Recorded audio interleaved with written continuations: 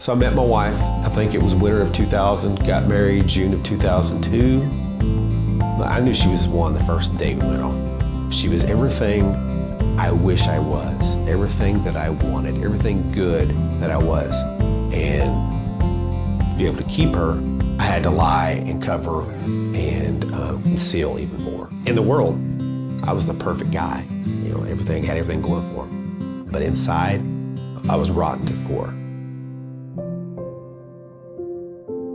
So I began to realize that I had a problem early on. I grew up in a small town just south of Fort Smith, Arkansas. Normal childhood, grew up in church, uh, mom and dad, two sisters. But things started to change when I hit puberty at the age of 12, 13. My father never had to talk about purity, never had to talk about sexual stuff. It was a very, it's, it's a very awkward conversation. I think if we would have had that, I would have known and been able to probably not get into the stuff I got into. I was kind of left alone to figure it out by myself. I can remember this day, the first time back then, a buddy of mine, his dad had a VHS tape, a porn video.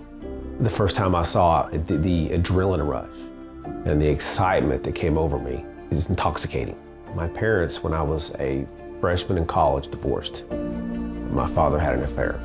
And it was a crucial time, being 19, my father just disappears from the household. And it's me, my mother, and my sisters.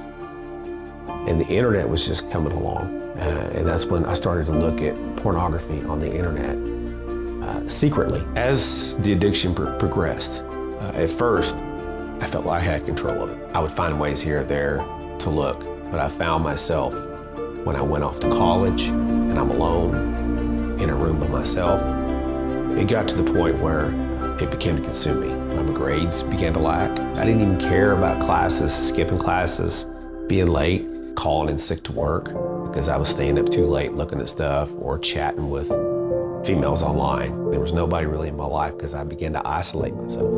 And being, being as a police officer, I came really close to throwing it all away and losing my career. And what I realized now is I was heavily addicted. I met my wife. Uh, I had already started my career as a police officer and was going back to college to finish my degree because I started before I graduated. She reminded me of a purity.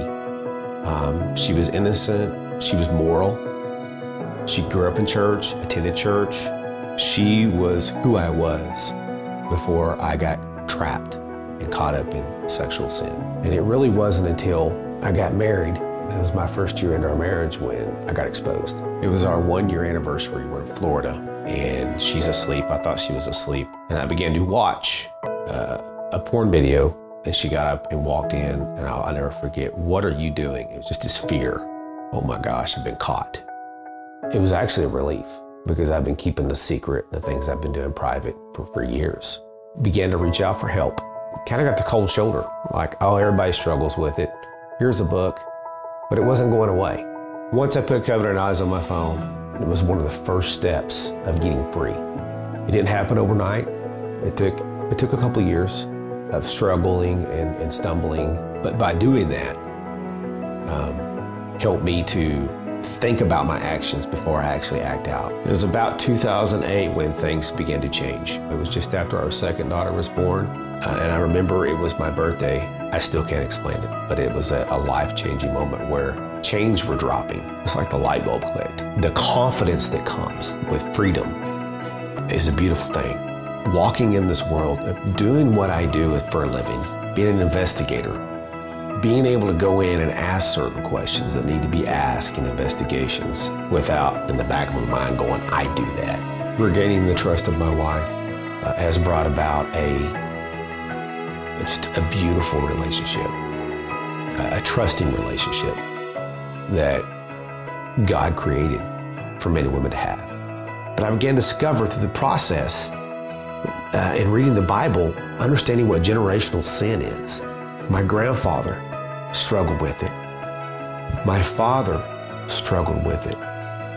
And I struggled with it. And me and my wife have this saying that we're Joe and Jennifer Kimmons, generation one because we're the ones that have broken and broken the generational sin And it's a beautiful thing to see how my daughters don't even really understand. They're innocent. I mean, my 16 year old is still innocent, and that's so beautiful that she doesn't have to struggle with the things I struggle with. Still a work in progress. We're all going to be works in progress till the day we die, but until you understand what grace is and you can give yourself grace, you're not going to really truly recover. And it was when I began to understand what freedom was. And then God came in and did the rest. I'm so grateful of what God has done for me. And I can assure you, if He can do it for me, He can do it for you.